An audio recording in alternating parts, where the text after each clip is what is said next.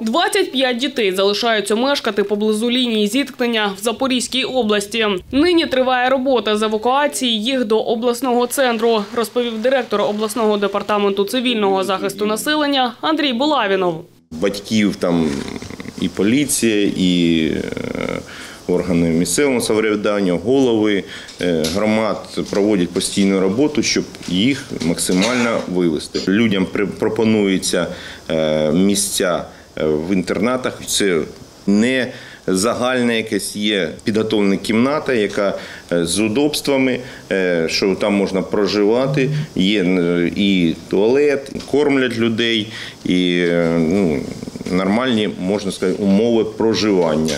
За словами Андрія Булавінова, прихисток евакуйованим надають на необмежений термін.